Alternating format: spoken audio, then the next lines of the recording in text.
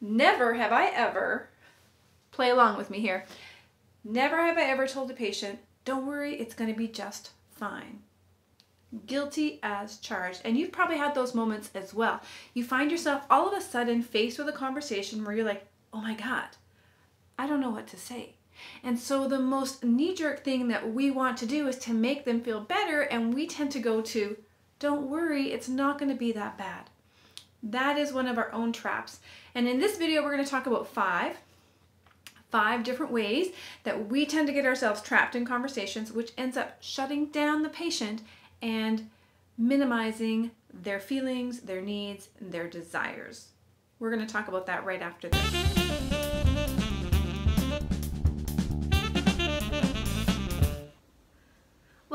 My name is Tammy and this is NurseMinder and on this channel we do everything nursing. So if you're new here, consider subscribing below so that you get the next video when it's released.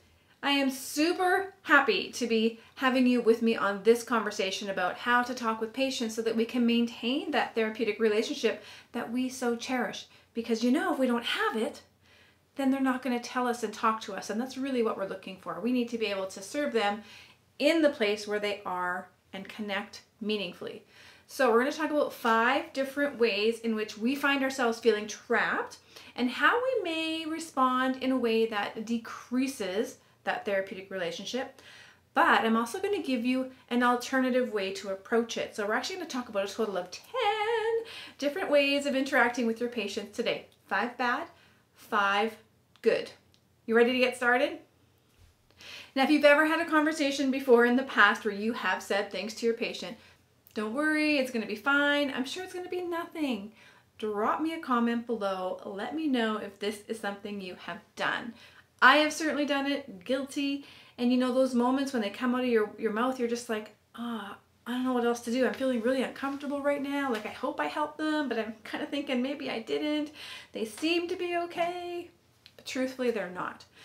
So the first one I want to talk about today is probably the most common. It's one we all feel the need to do, and that's to build up somebody's courage or to take away their worry. And we do that by giving them false hope or false reassurance. So false reassurance is where we minimize their worries, we minimize their concerns, we try to make them feel better and boost their courage by saying, you got this, don't worry, we're with you. You're going to be fine. But that's not always the case. And we actually don't know if they're going to be okay, if they're going to be fine, and if they've got this, right? And so if you find yourself having words like that come out of your mouth, it's okay to pause for a second go, whoa, you know what, actually? I think I'd like to know a little bit more.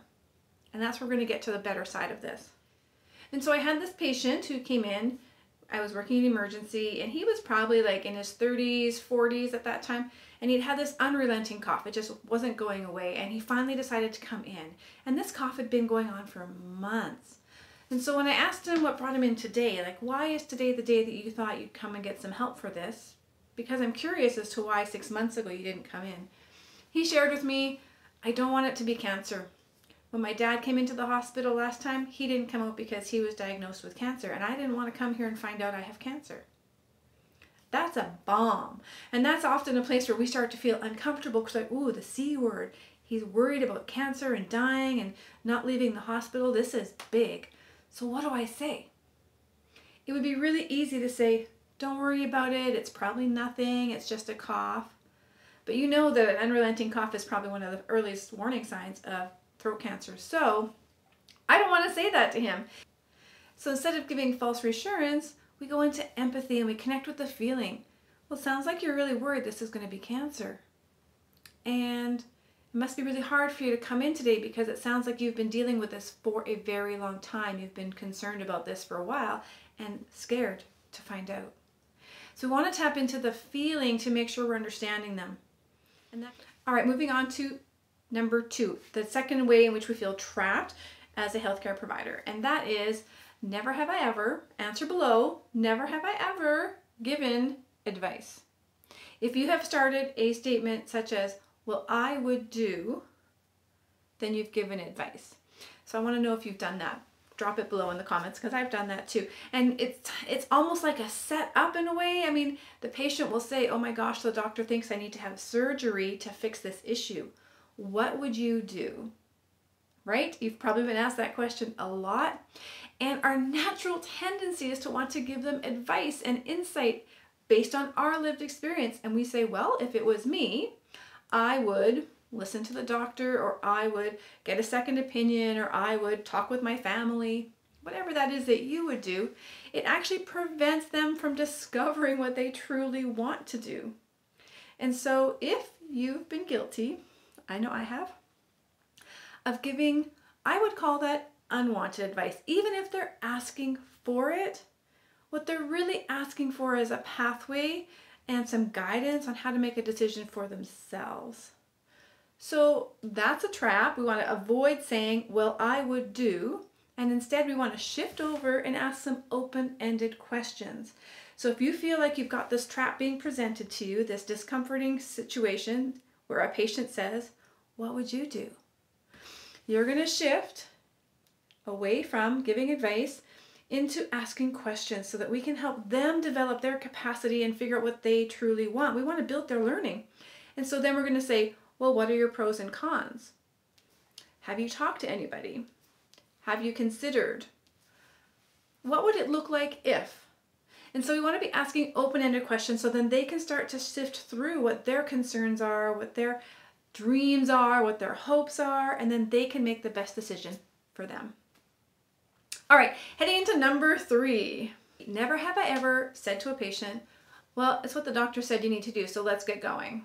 Or, well, that's the doc, they're right, we need to do what he says. Guilty as well. Now, I'll tell you that doesn't actually create a therapeutic relationship. It creates a lot of tension, like I'm the mom, you're the child, do what I say, and everything will go well. That's not what we want. And I'm going to share an example with you of where I had a patient who was had a path to get home, right? You need to take your medications, you need to do your dressing change, we need to mo mobilize you out of the bed, you can't just lay there all day, and you need to go to physiotherapy.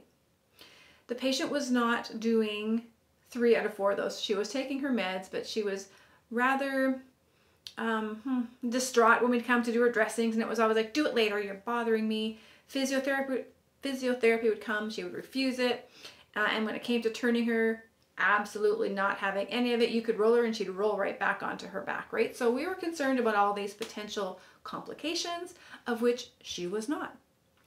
And so one morning I walked in and I said, okay, you've said to me many times how your goal is to go home.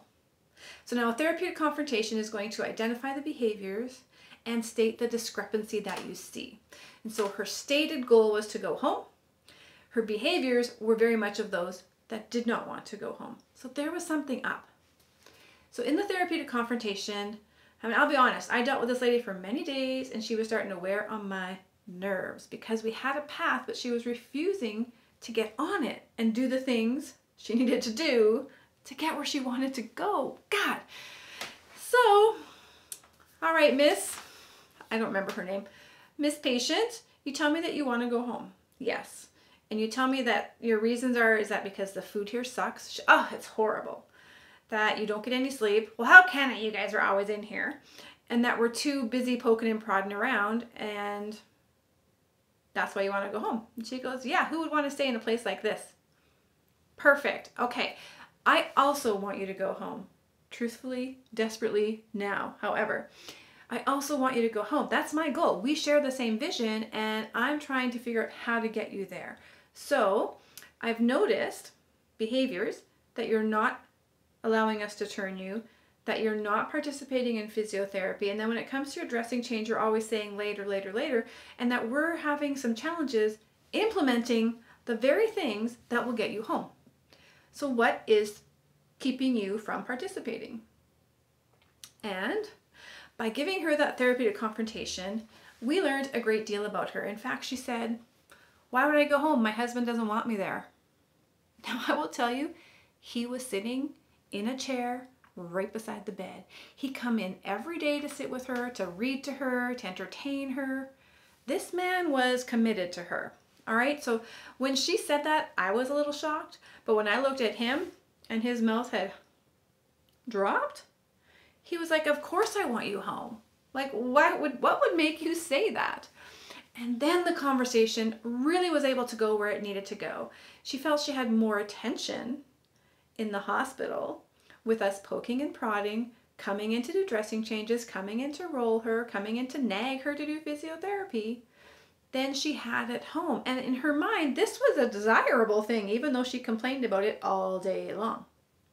So once we were able to identify the real barrier, then she started to participate because now she had this validation from her husband.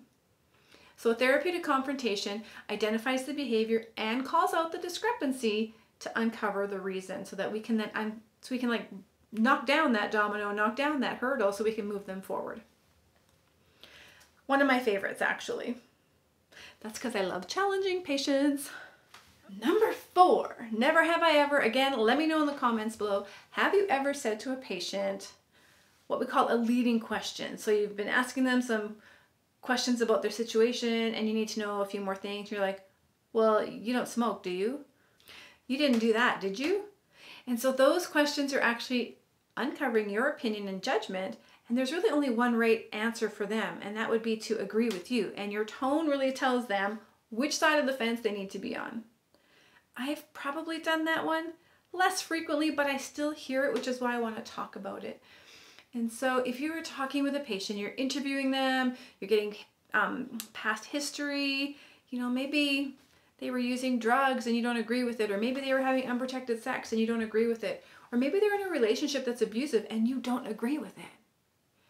And you say something like, We didn't go back to him, did you? That only allows them one place to go in order to satisfy you and to keep you happy. So instead, you just want to drop the do ya okay? And just say, did you go back to him? Do you smoke? Did you have unprotected sex? Just drop, cut it right off, get your opinion and your judgment out because it doesn't belong in that nurse patient relationship. That's a pretty simple one. Now we're going to go on to number five. never have I ever, and I expect a lot of comments on this one because never have I ever asked a patient, why did you do that? Why didn't you do that? right? Guilty. Why is our favorite question to ask in our culture? And it's actually one that I try so hard to avoid, and I teach all of my students to do not ask the why question. There is a place for it, but I will challenge you as well to stop asking why and to put in a when, a who, a what, a how, and a where. Look at other questions because you will get much better information. Now, what happens when you ask a why question? two things. One is they have to defend their decision, their choice. Two is sometimes they haven't worked it out yet and they actually don't know. I, I don't know why, because they haven't had time to think about it. And we're seeing a lot of that right now with COVID in terms that patients are not coming to the hospital when they need to come for care. They have legitimate reasons and they don't come because they're one afraid of getting COVID because what's on the news? The hospitals are full of COVID. People are dying in the hospital, so I don't want to go there. Two, they're also not coming because they're told to stay home away from people. And three, they don't want to burden an already overworked hospital system. And so, for those reasons, they're not showing up. And then when they do come up and we see that they've like got massive issues that need medical attention, people are saying, "Well, why didn't you come earlier?" So, how do we shift out of the why and creating a defensive, non therapeutic relationship? We move into the who, the what, where, when, how. And of course, this list can get longer like, can you tell me, share with me, those kind of things that open up conversation. So instead of why didn't you come in sooner, let's ask, what's happened since this first started to the moment you've come to see me today? Or what was it about today that made you think this is the day I need to go in to get some help? Or where were you when this started? Just ask open questions to learn more. Forget about your desire to know the why because it doesn't matter.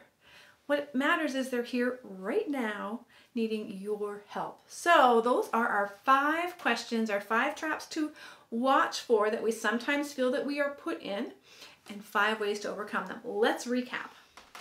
Number one, Number one, we want to shift from false hope, false reassurance, where we're saying things like, you got this, don't worry, into empathy and acknowledging the feeling that they're having. It sounds like you're really worried about this. Number two, we want to avoid giving unwanted advice. Even if they ask us, what would you do? We don't want to say, if I were you, cut that out. Instead, we're going to shift into, well, what are you thinking the pros and the cons are for you? Who have you talked to? What else have you considered? All right, so we want to shift it so that they can learn about what they truly want and create a plan for them. Number three, we want to avoid authority based conversations. Well, this is what the doc said, so let's get up and let's get moving. That is a that's like parent child. It's never going to work. It's going to create a lot of tension and they're just going to shut down. So instead, we want to shift into therapeutic confrontation. I've noticed that this is what you've said you've wanted. These are the behaviors I'm seeing, and I'm unsure as to why you're moving forward. Let's call it out and ask for clarification. Number four, leading with biased, opinionated, judgment type of statements. Well, you didn't go back to him, did you? There's only one way for that patient to go, and that's to say no in order to keep you happy. And if they say yes, they feel worse about themselves. So we want to shift and we want to ask just simply, did you go back? Did you smoke? Did you do this? Do you do this? End of remove any judgment, remove any opinion. Okay? Get rid of the did ya and the do ya. Number five, the use of why. I highly encourage you to stop using the word why when you're talking with your patients because it creates defense and they have to justify their decision and their position to you. That's never a good feeling. So instead, we're going to shift into who, what, where, when, how, can you share with me? Those kind of questions that open up more exploration that gives them a safe place to explore the why without asking it. So I expect those comments below to be blown up with I have done that, been there, asked the why. Now, I hope this has been helpful for you so that you can start to see what your tendencies are how you show up when you feel trapped in a moment where you're not sure how to talk, what to say, how to make them feel better. Because I know your heart is good. I know you just want to make them feel safer, calmer, and take away their pain. And you can still do that while being therapeutic. Now listen, don't forget to subscribe, hit that button below so you get notified when the next video is released. It helps me build content that I know you want. Comment below with your ideas for future videos as well. If you'd like to support me to continue to do this kind of content for you, you can purchase the NurseMinder merchandise, which is right below these videos. You can get t-shirts, hoodies, sweats, all kinds of stuff. Fun little socks as well, they make great gifts. Also, you can click on any of the Amazon links and do your Amazon shopping just by just by accessing Amazon through that link. And then your shopping will be credited to my account in which I get a very very very small very small um, pennies sent my way. But when more people do it it turns into dollars and that helps me to continue to build this content. Because maybe I, I think I might have missed it right you can always come back and course correct course correct Never have I ever. Listen, we're going to talk about five different types of conversations that we have. And never have I ever. Yes, kitty. I guess I'm talking too loud for her. hey, I know you're probably not ready to get off your phone or go back to work just yet, or maybe even turn the lights off to go to sleep. So, why don't you spend a little bit more time here watching another video?